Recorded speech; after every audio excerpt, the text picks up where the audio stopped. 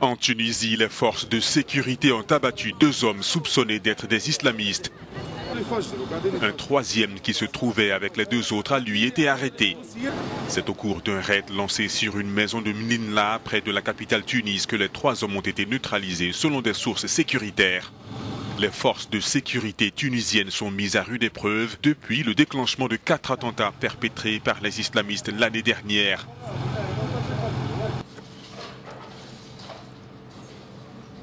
On se souvient encore de celui du musée du Bardo à Tunis et les deux attaques commises cette année à Ben Guerdan, une autre ville de la Tunisie située non loin de la frontière entre la Tunisie et la Libye, une zone très fréquentée par les terroristes du groupe État islamique.